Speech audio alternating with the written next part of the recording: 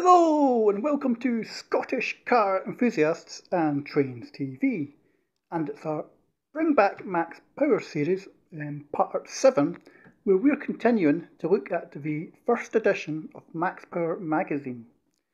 This video is an, an unfortunate change to the one I was planning to do, um, just due to the reason that I never actually attended the Cars and Coffee meet uh, on the day. Um, I had a change of mind at, at the last minute.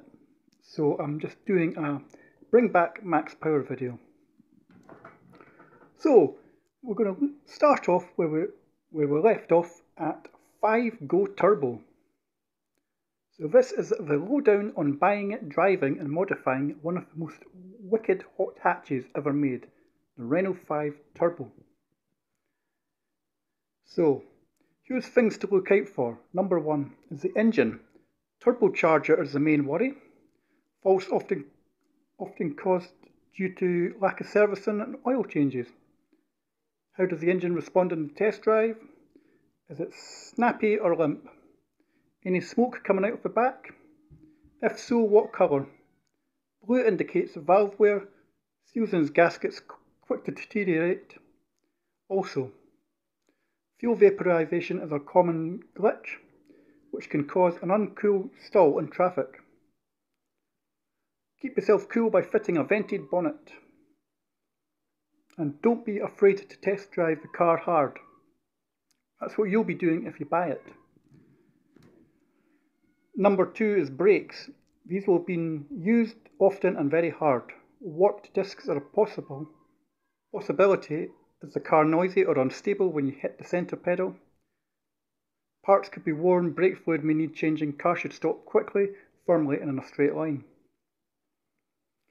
Number 3. Transmission. Gearbox synchromesh often damaged through over, enthusi over enthusiastic use. Bearings can rumble after a while. warning that a new transmission will be needed. Seized or sticking clutch is another affliction. Moving on to your wheels and tyres. Curb crunched alloys likely on the older cars. Check also for tyre damage and wear. Look for black brake dust on the rims, a sure sign the car has been driven hard. Tyre damage likely on sidewalls when the car is lowered. Number 5. Suspension and steering is likely to be knackered. Because it works so hard, it needed put you off. See cunning plan. Section overleaf. Look for uneven ride height, leaking dampers, and strange grunts and groans when test driving. Sure they're not cornering from, coming from the owner. Anti-roll bars suffer from tired bushes, torsion bar at the rear lasts a long time.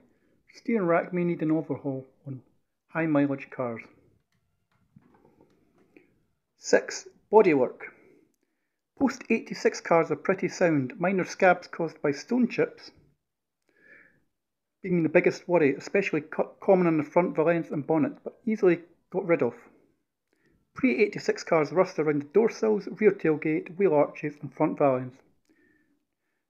Check for crash damage, dents, paint overspray and misaligned panels or clues. And the final check is inside. Check all the gauges work, especially the one for the turbo boost pressure. Damp footwells mean underbody rust. Haggle over knackered seats, worn out carpets, and missing bits of trim. Five turbos are pretty tough, so this shouldn't be a problem.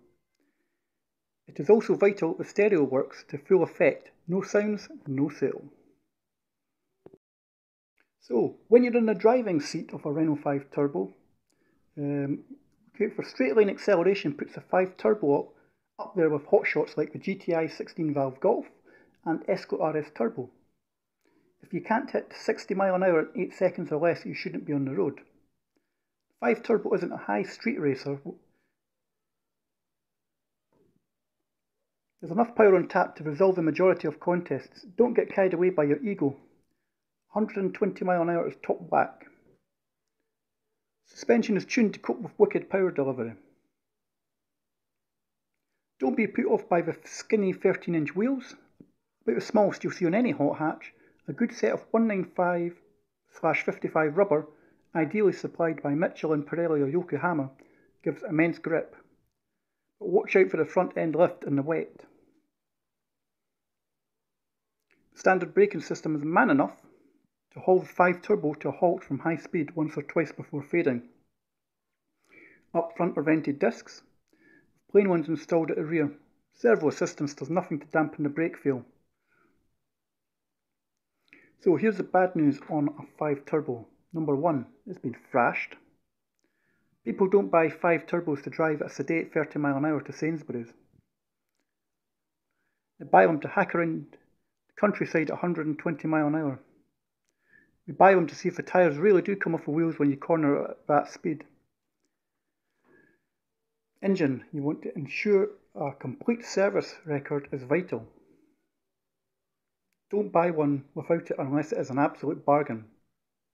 Then ask yourself why it is a bargain.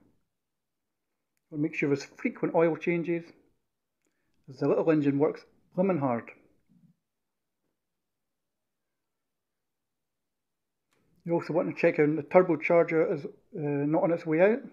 Turbocharged cars need quality oil. Skimping on cost will wear the engine out, causing it to rattle, smoke and generally misbehave. A rattling timing chain and piston slap which makes the engine noisy when it's cold. Later 5 turbos suffer from fuel vaporization caused by excessive heat under the bonnet. You know this is why you keep stalling in town. So, as we said before, fit a vented bonnet. Transmission and brakes, take a battering. You can find it hard to match a driver's enthusiasm. And suspension wise, you're looking for leaking shock absorbers are fairly typical, as are corroded springs, worn out anti roll bars. Um, the all that flat out cornering has a price. Tyres with tread are advantageous, as are unmarked wheels.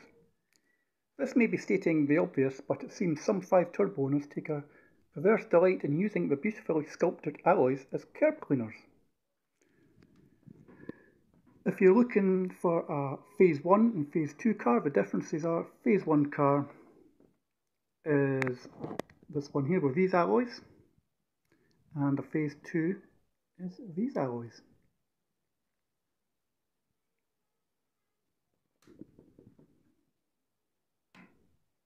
The engine underneath, it's a 1397cc unit which, which needs a good looking after because it's turbocharged.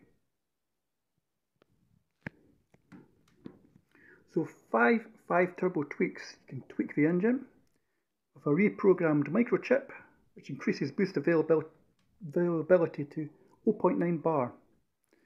Add a modified intercooler to take boost up to 1 bar, increasing power to 150 brake horsepower. Cost in 1993, £195.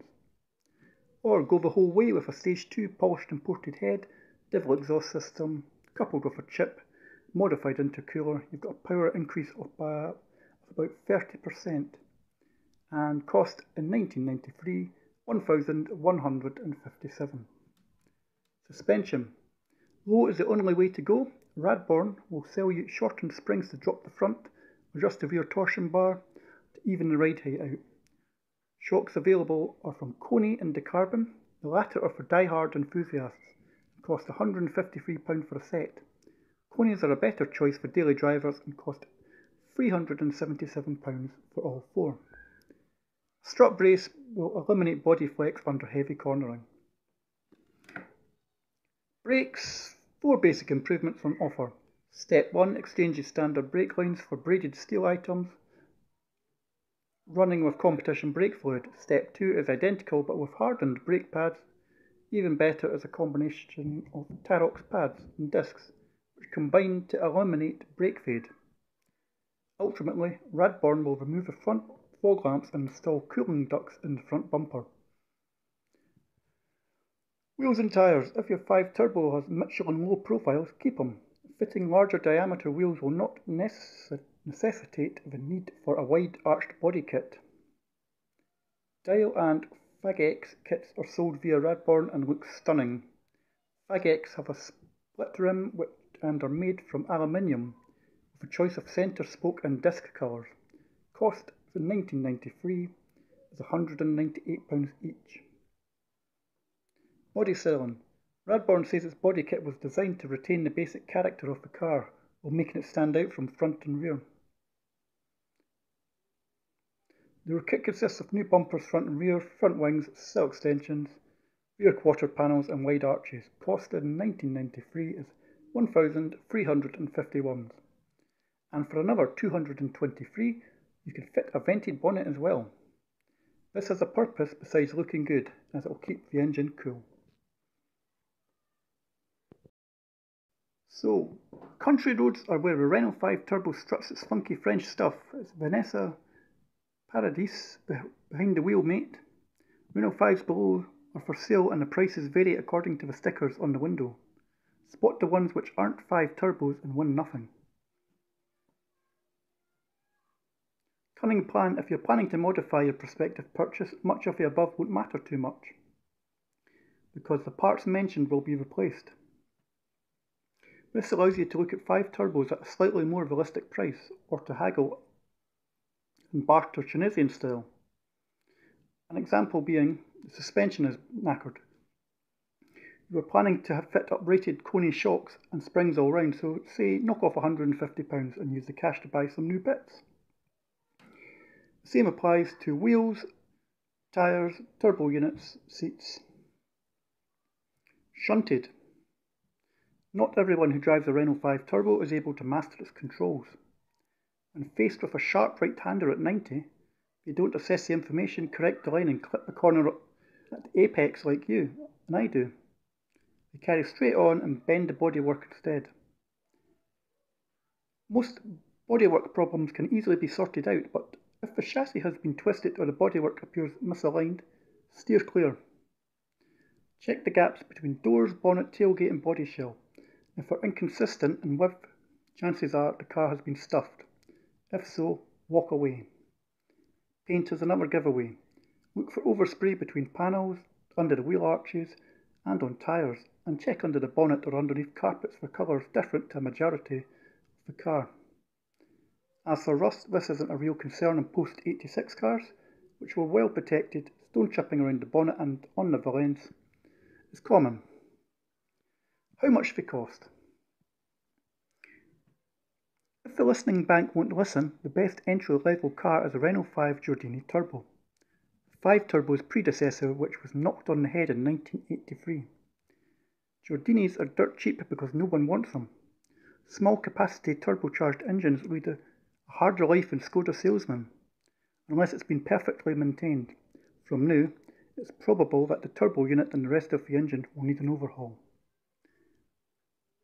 So prices back in 1993, top end one 6,900, a Tati one on a Mark 1, you're looking at about £2,500. Insurance wise, um, it's not cheap, especially if you want full comprehensive cover. All five turbos are in groups 12 to 16. So if you're under 25, the cost could be over £1,000. The tempting route of insuring the car under your parent's name will reduce the cost, but your no claims bonus will suffer. Any modifications will have to be notified to the insurers. So let's have a wee look at the tech spec on the 5 GT Turbo. So it is a inline 4 cylinder 1397cc, bore of 76mm, stroke of 77mm, compression ratio 7.9.1, aluminium 8 valve cylinder head, Garrett T2 turbocharger with air slash airhead intercooler and pressurized Solex carburetor. Transmission is a 5-speed manual with single dry brake clutch. Suspension is front MacPherson struts, lower wishbones, coil springs and anti-roll bar. Rear is independent trailing arms, 4 torsion bar springs, incline dampers, anti-roll bar. Brakes, front's ventilated discs, um, rear is solid discs. Alloy wheels are 5.5 inches by 13. Max power, you're looking at 120 brake horsepower at 5750 RPM. Max torque of 122 pounds-feet of torque at 3750. Brake horsepower per litre 85.7, power to weight ratio 134 brake horsepower per tonne. 0 to 60, 7.8 seconds. 0 to 100, 24.7 seconds. 0 to 25 uh, mile, 16.4 seconds. Max speed of 120. This is figures from Performance Car November 1987. Insurance groups 12 to 16. And we're going to finish up on this part of Bring Back Max Power. And this was just a, a buyer's guide on the Renault 5 GT Turbo. If you've enjoyed this video, don't forget to like and subscribe at Scottish Car Enthusiasts. And we'll catch you in part 8 in due course. As always, thank you for watching and feel free to like and subscribe.